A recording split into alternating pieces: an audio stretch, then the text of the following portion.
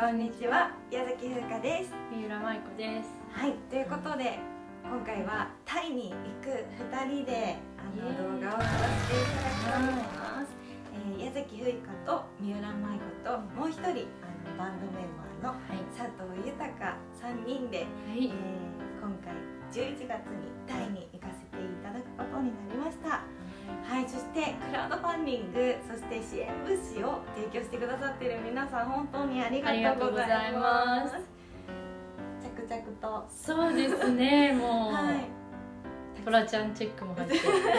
たくさん物資を送ってくださってありがとうございます、はい、はい、えー、今回タイに支援物資を届けに実際にね、うん、あの施設に届けに行っていきたいということで、はい、えー、企画をさせていただきまして行ってこようと思っております、はい、実際にねこの集まったお金を全部寄付したらいいんじゃないかとかね、うん、思う方もいらっしゃるかもしれないしいろんなね意見があるかもしれないんですけども、まあ、我々今までちょこちょこといろんなところにボランティア行かせていただいていて、まあ、私はフィリピンにね以前行かせていただいたんですけど、まあ、そこでこの路上でねお母さんが赤ちゃんを抱っこしててその赤ちゃんがねおむつをもうずっと変えてないだろうなっていうおむつで、ホームレスのような形でねあの周りの人からの支援をこうもらっているようなところとかも見て帰ってきたんですけど、まあ、現地に行って見てみないとわからない世界っていうのがやっぱりあって、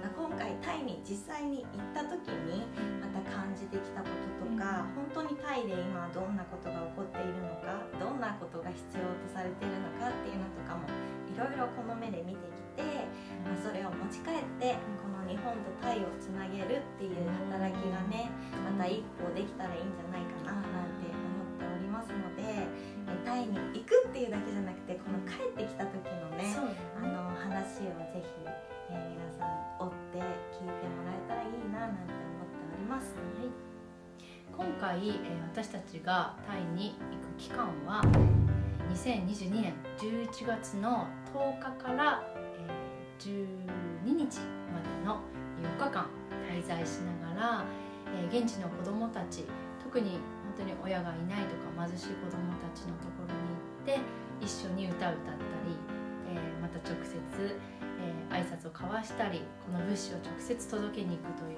ことをしてこようと思っております。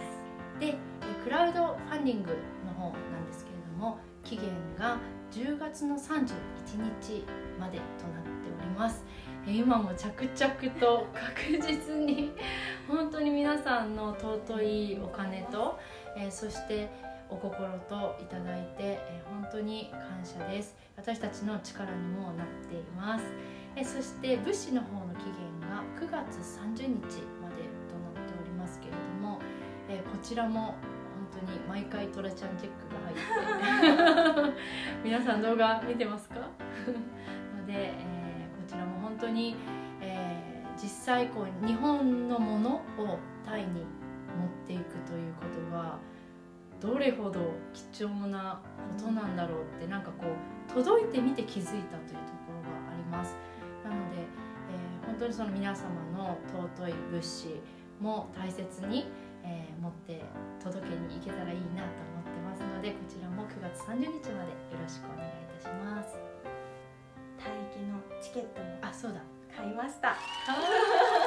もう、飛べばっかりです、はい、なのであのクラウドファンディング成立しなかったとしても必ず行って、はい、えー、私に行ってきますのでご安心ください。はい。で、えー、そうですね。皆さんのお祈りが本当に何よりももうパワーを発揮する。えそして今回のこのタイの旅がより楽しくなる。秘訣の一つかなと思っておりますのでぜひぜひお祈り祈りに覚えていただけたら幸いです。それでは、えー、引き続き私たちのこのタイの旅、え皆さんと一緒に行くつもりでいますので、えー、一緒にこの旅を楽しんでいただけたら嬉しいと思ってますのでよろしくお願いいたします。これから郵便局に行ってきます。どうやって発送すればいいか。ちょっとそうなんです。に、はい、発送の仕方がちょっとまだ海外に大量な荷物を送ったことがないので、ね、ちょっと郵便局のスタッフに聞いてみよう。はい。そこに送料とかあるはずなんですある？タイもちゃんとあるからそう。タイに送りたいんですけどみたいな感じで、はいはいはい、わかりました。言えば平気だと思うちょっと発送のことでお聞きしたいんですけど、どちらに送るタイに送りたいんですけど、全部で送りたいものってどういうものですか？70と文房具とか服とかか化粧品は入ってますか？あ入ってないです。はい。はい、じゃああのじゃあバッテリー使わないものは何も入ってないっていうそうですね。ですか？はい。送り方って決めてます？まだ何にも。あの船か。早く方法とか、はいはい。船であるとかいろいえっとろあるんですけど10月に発送して11月に着きたいみたいそしたらもう船便は無理ですね。船便ははい。1ヶ月はつかないのなで1ヶ月つかない。つかない。うわ飛行機のやつ。うん。で大で丈夫。今、はい。コロナの関係もあって、はいはいはい。あの船便でもはい。1ヶ月ぐらい以前かかってたんですね、はいはい。それよりかかっちゃうので、もうはい。船便はちょっとそれだけのお時間しかなかったら、そうあの測り方なんですけど、はい。えー、とこのぐるっと一周ですね、はいはいはいそれがそれとそれとこの高さっていうか、はい。こちらですね。ぐるっぐるっと一周とあともう残りの一辺ですね。おおはいはい。かかって。一二三うん四辺五辺ですね、うん。はい。でじゃあその辺も文具っていうあの大きい言葉ではなくて、はいはい。あの折り紙とかうんはい書いてあの飛行機に乗せる関係上、はいあのはっきりわからないとはい載せられないんですね。こういうのがいいやついっぱい作るんですけど、これあの今ですね手書きではなくてあのパソコンまたは、あのスマホでお作りいただくラベルをお勧めしているんですね。へー中間電子データといってあの荷物がなくなったりするリスクが下がるので、それを、えーお勧めしてます。はいでこれね三百八十円。